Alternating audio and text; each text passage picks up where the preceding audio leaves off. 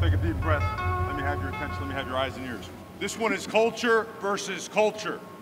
We're fixing to go on the road against a team that prides itself on toughness, discipline, physicality, right? And we're preparing in a manner since January. So by the time you get there, there ain't no flinch, there ain't no anxiety.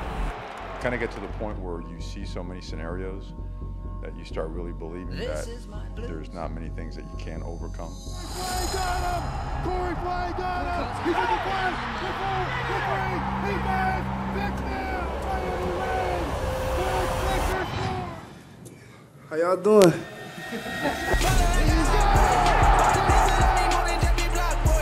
opportunity to make sure they feel your presence.